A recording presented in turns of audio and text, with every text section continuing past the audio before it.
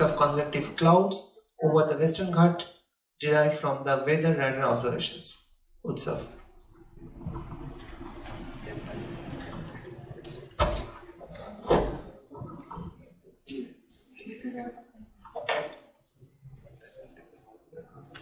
Good afternoon, everyone. I'm Utsav Bhowmik, and today I shall be speaking on our recent publication entitled The Statistical Characteristics of Convective Clouds over the Western Ghats Derived from Weather Radar Observations. This work was published in the Journal of Geophysical Research Atmospheres, and my co-authors are Sachin Deshpande, Subrata Kumar Das, and G. Pandithurai.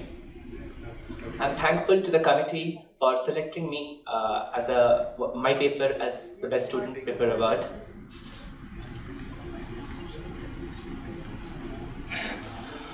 I introduce by saying the importance of atmospheric convection. Atmospheric convection drives the tropical weather and climate systems. Convective clouds occurs in ensembles that uh, covers a range of phenomena from shallow isolated cells to large mesoscale systems. Convective elements acquire a variety of shape, size, orientation, motions, and life cycle behavior. Numerical weather prediction models suffer limitations to capture them owing to model representation of convection. Numerous observation of convections are needed to achieve better representation of physical processes through improved parameterizations. There exist several observational platforms, like the satellites, the wind profilers, the lightning location networks, and the scanning radars. Of these, the scanning radars have a unique capability of providing a three-dimensional structure of the convective properties of atmosphere at frequent intervals of time with high spatial resolution. The western Ghats of India are the coastally oriented mesoscale mountain ranges, as we can see here, uh, having a narrow width and an average elevation of one kilometer. They run parallel to the Indian west coast. Summer precipitation over the Indian west coast is an important facet of the Indian summer monsoon. Despite being one of the largest rainfall regions of the Southwest Asian monsoon system, observation of convective life cycle is severely lacking over this region. There have been recently few ground-based case studies like Konwar et al., Deshpande et al., Das et al., etc. However, most studies over the Western Ghats have been confined to the use of long-term satellite datasets like Romatschke and Houze, Escobar et al., Schwigger et al., and others.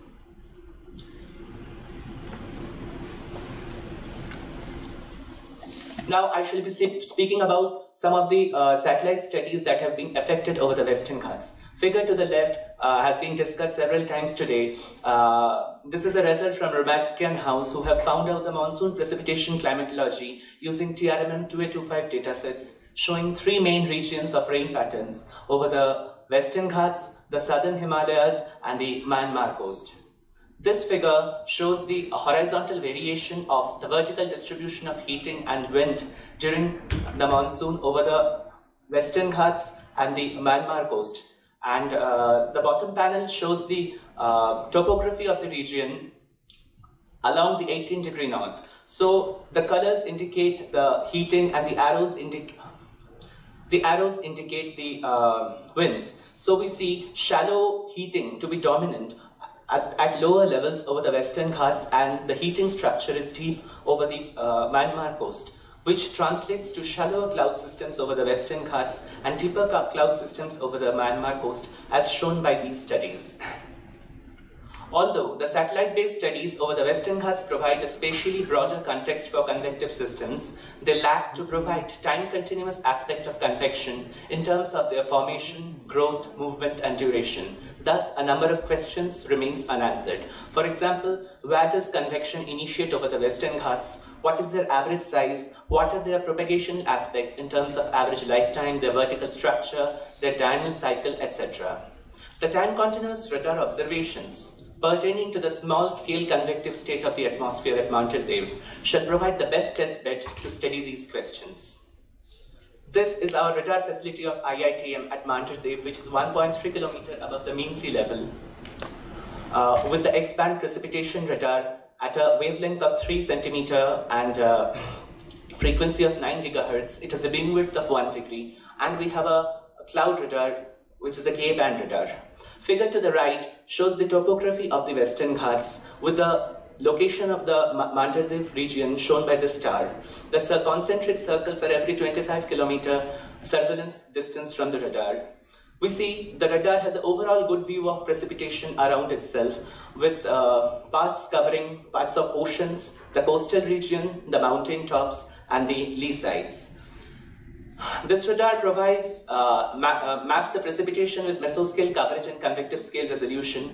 It uh, scans the entire volume of the atmosphere at every 12 minute scan interval, encompassing an area of 50,000 square kilometer. That is, it has a radius from its center to about 125 kilometer. We generate a gridded statistics of convective cell properties.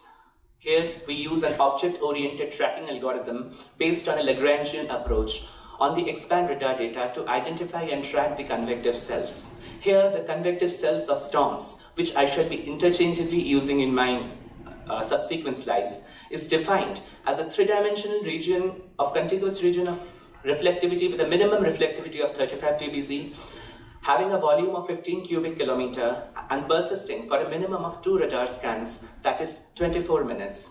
With this criterion, around 5,000 storms were identified during monsoon 2014. For all the identified convective cells, various convective properties are obtained to generate a gridded statistics of convection over the entire radar domain. For example, the location, frequency, and initiation time of the cells, the 35 dBz convective top heights, their area and volume, the diurnal evolution of the convective cell properties, cell kinematics and classification of the convective cells. Now I shall be discussing about the orographic influence of, of Western Ghats on convection. The figure to the left is the topography map as we have seen earlier. There is a sharp rise of topography along the north-south ranges as evident in this figure. Figure to the right is the composite of the normalized storm frequency occurrence during the monsoon 2014. So we see a nice clustering of enhanced storm activity along the windward slopes of the mountain they uh, tend to form and maintain along the elevated slopes of the mountain compared to the coastal and lee regions. Thus, the increased frequency of the convective cell occurrences along the windward mountains compared to the coastal and lee regions highlights the orographic influence on the convective activity. This figure shows the spatial distribution of the convective cells on a month-to-month -month basis. For the month of June, we see higher occurrences over the elevated slopes and the coastal regions. For the month of July and August, we see the storms clustering uh, nicely along the north-south mountain ranges. And in September, the storm occurrences uh, slightly increase over the lee side and they are basically scattered. Now we wanted to look at the influence of the large-scale flow and moisture on the spatial distribution of the convective storms. Thus, uh, we saw the, we analyzed the ECMWF specific humidity and wind anomalies at the surface the color represents the uh, anomalies of specific humidity and the arrows indicate the anomalies of the wind. We take a larger zone of which the black square box approximates the radar domain and the black dot approximates the radar location. So in the month of June, we can see uh, moist ocean and drier lands with weak westerlies and enhanced humidity gradient from the windward to the leeward side, which explains why there are higher storms in the elevated slopes and coastal regions. July was anomalously drier with westerlies uh, uh, prevailing, prevailing over the region. So uh, we had lesser number of storms during July as compared to August. In August, we have increased storm occurrences in the lee side, probably due to the cyclonic circulation with enhanced moisture that favors numerous storms, especially in the eastern portion of the domain during August. In September, we have weak uh, southwesterlies to southerlies over the over the domain, which uh, and has increased moisture occurrences uh, in the southern and eastern portion, which uh, translates into the scattered storm phenomena in the uh, September month.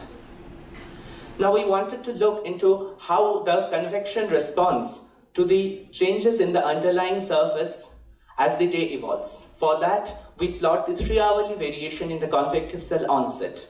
The convective cell onset as indicated by the black annular circle is defined as the first time occurrence of convective cells with reflectivity of 35 dBz. Thus, it may be referred to as the storm As a newly uh, uh, formed single storm, diurnally the convective activity is triggered upstream of the mountain barriers, they intensified over the uh, upslope or the windward slopes of the mountain and they moved over to the lee side. Thus, there is a systematic eastward progression of the convective cell onset locations, which shows clear differences in the dominant local time of onset of convective cells with respect to underlying topography. Here, we, uh, I want to uh, bring out another point that these are the ridges of the Western Ghats mountain and the onset locations are found to be anchored along those ridges. So uh, it may be thought of that due to differential heating of the um, different elevations of the Western Ghat mountains, they small, form small pockets of convection where the convection initiates. And also, uh, if we see uh, the three hourly variation, uh, during afternoon hours, there is an intensification of the onset phenomena, which also hints at uh, effect of diurnal, superimposed diurnal cycle on the convective activity. We look into the spatial distribution of different convective cell properties, like the storm top heights, which is the, the 35 dBz top heights is the maximum height reached by uh, a 35 dBz reflectivity echo within a cell. The convective volume, which is greater than 40 dBz, indicates the intense convective core within a storm. The storm vector here represents the, uh, the length of the vector represents the speed and the arrow represents the direction. The speed are obtained by the differences between the starting point of the storm and the uh, dissipation phase divided by the time taken for the storm to travel that distance. In the first figure, we see shallower precipitating top heights in the windward side around less than 5 km or 6 km, and deeper precipitating top heights in the leeward side. Also, in intense convective cores were preferred in the leeward side of the domain.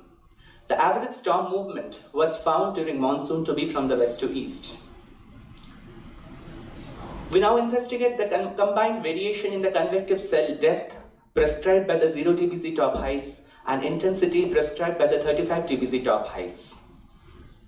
Here we have the 2D distribution of the 0 dBz and 35 dBz uh, tops.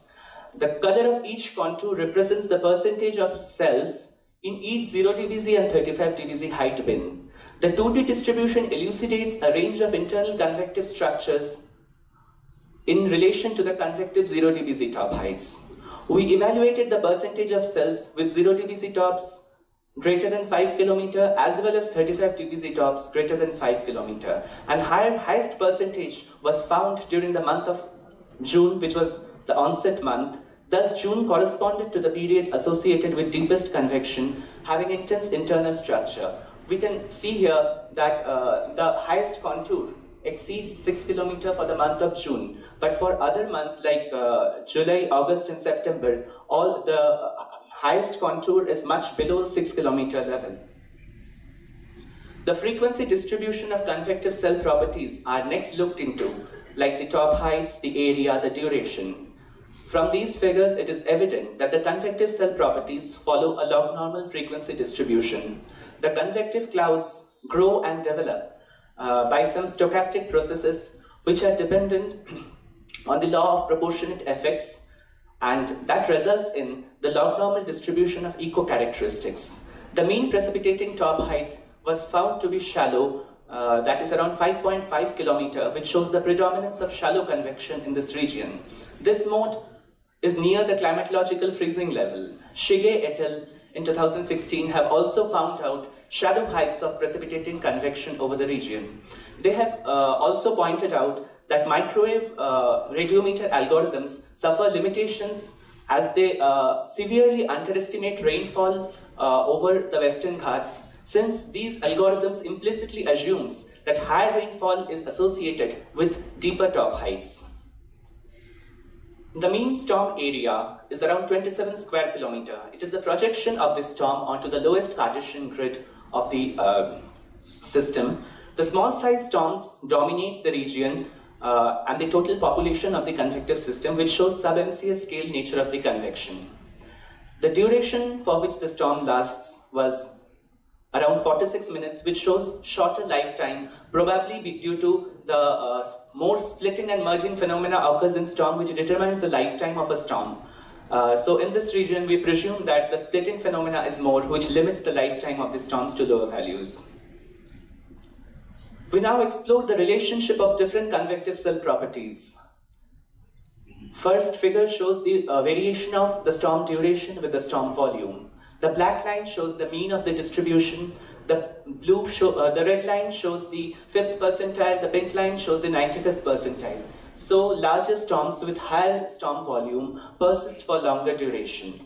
Then we see the normalized distribution of storms of different duration with respect to maximum reflectivity. So we see a progressive shift of storms of higher duration to larger reflectivity values. That is, the long persisting storms and which are of higher intensity produce, may produce more precipitation than the shorter lived ones. The third figure shows the variation of the 35 dBz storm top heights with respect to volume. So the convective cells with larger volumes up to 150 uh, cubic kilometer attains greater top heights up to uh, nine, 4 to 9 kilometers and have a larger horizontal extent. The diurnal cycle of uh, convection and precipitation over a region plays a fundamental role in framing the regional weather pattern. With that in aim, we looked into the diurnal cycle of different convective cell properties, like the cell occurrence, the vertically integrated liquid, volume, top heights, reflectivity, area, precipitation flux, and duration. So from this, these figures, it is clear that the convective systems are present throughout the day as an orographic response to monsoon flow with a superimposed diurnal cycle with a major afternoon peak which may be related to systems over land and a barely discernible uh, early morning peak related to systems over the ocean. The maximum in convective area lags several hours to the maximum in the precipitation flux. Peter et al. have attributed this lag to the detrainment of convective elements near the freezing level inversions, which forms widespread systems as the day advances. Now we look into the uh, kinematics of the convective cells in terms of their speed, their direction, their orientation uh, that they acquire during their lifetime. The frequency distribution of the storm speed shows they are also distributed in a log normal fashion with a sharp rise and a gradual fall. The storms move with a slower speed of 3 to 5 meter per second on an average. Storms during their lifetime moved in a variety of directions, but they were more preferred along the northeast to east direction from 60 to 100 degrees. Now we wanted to investigate what makes the storm move in that direction. So we analyzed the 850 hectopascal uh, low-level flow from the ECMWF reanalysis datasets.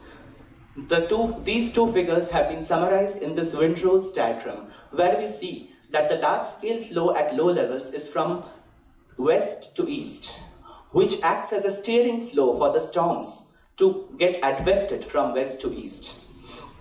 Now, if we approximate our storms by an ellipse, the angle, the major axis of the ellipse makes with the true north. If this is the ellipse, the angle, the major axis it makes with the true north is called the orientation angle of the storms. So during their lifetime, the storm acquired variety of uh, orientations from 0 to 180 degree with a modal orientation of 90 degree. Now, uh, we tried to uh, plot all the storms with modal orientation of 90 degree in this figure and we see a nice clustering of these storms along the north-south mountain ranges where we have the ridges, east-west ridges parallel to them. Thus, these storms gets aligned parallel to the mountain ridges, which shows the influence of the mountain ridges in aligning of the storms. Now to assess the effect of mean elevation profile on the spatial structure of convective storms with respect to local time, we undertake the reduced dimension analysis of the cell motion. The first figure shows the latitude average cross-coast component along the west to east direction of the topography, and the second figure shows the longitude average along coast dimension from south to north of the study region. The bottom panel shows the diurnal Hovmöller type of diagram where the uh, diurnal cycle is repeated for clarity in the y-axis. So here we see rich topographic variation in the cross-coast dimension, whereas the variation is relatively flat in the along-coast dimension. So uh, we plot the uh, storm speed in this in these plots. So we see along the cross-coast dimension, we have sloping pattern of storm activity, which indicates systematic progression with time. This sloping pattern is matching with the sloping pattern of the cross coast. Thus, the storm activity appears to self-organize over different elevations in the east-west di direction, likely due to differential heating of the surface due to differences in elevation. Whereas in the along coast component, the horizontal patterns are flat, suggesting weak propagation speed, distinctive of unorganized convection. So we see there is spatio-temporally preferred location of storm activity and a prominent diurnal cycle is present in both cross-coast and along-coast dimensions. We classify the convective cells based on their top heights following the range height criteria of Johnson et al. The cumulus clouds 0 to 4 kilometer indicated by the black square, the congestus 4 to 9 km indicated by the red circles, and the deep convection greater than 9 km indicated by the blue triangles. So this is a spatial distribution of different cloud types. So we see ocean of red, that is, the congestus cells are more abundant of all the cell types, with a preferential clustering of the shallower cells along the north-south mountain ranges. Deeper and isolated uh, deeper cells are most frequent over the leeward side of the region, with some isolated events over the mountains. We now look into the diurnal variation of different cell types, and we see that there are differences among the amplitude and phases of the three different types, the cumulus, congestus, and the deep. The congestus cells peak at around 14 hours, and the deep cells peak at around 16 hours. This lead-lag relationship indicates a shallow to deep transition. For such transitions to occur, the mid-tropospheric moistening and heating by congestus is one of the important factors. I conclude by saying that X-band radar observations were used to derive the gridded statistics of convective clouds over the Western Ghats, providing the first-time view of the time-continuous aspect of convection over the region. The convective cells formed and maintained along the windward slopes of the mountain compared to the coastal and lee sides, which highlighted the orographic response to the southwesterly flow. The diurnal cycle showed a major afternoon peak and a minor morning peak, which may be related to the systems over land and that over oceans respectively. Cells were characterized by shallow depths, sub-MCS scales, shorter duration, and slow speeds. Convective cell area, height, and duration followed log normal distribution. The congestus cells were more numerous on the windward side and they had a clustering over the north-south mountain, while deep cells were uh, found to dominate over the lee side. The congestus and the deep modes showed a phase lag relationship amongst themselves. Cells were found to orient in the east-west direction along the mountain ridges, which showed the influence of ridges in aligning of the storms. Radar-derived statistics of convective clouds here should provide a useful source for validation of cloud resolving models. I would take it an opportunity to acknowledge Professor Ravi Nanjundiah, the director of IITM, my supervisors, Dr. G. Pandithurai and Dr. Sachin Deshpande, the Radar and Satellite Meteorology Group, all the engineers who helped to collect radar observation amidst rough weather conditions, DST Inspire Fellowship, my family and friends. Thank you.